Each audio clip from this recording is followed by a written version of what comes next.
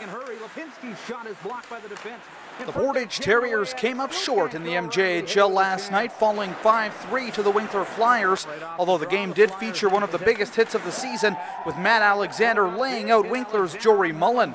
Afterward, the Terrier defenseman talks about the hit. Well, you know, I don't know. I just uh, I saw the D kind of telegraph a pass up to him, so I stepped up and hit him, and he didn't like that. So that's kind of how it happened. Yeah.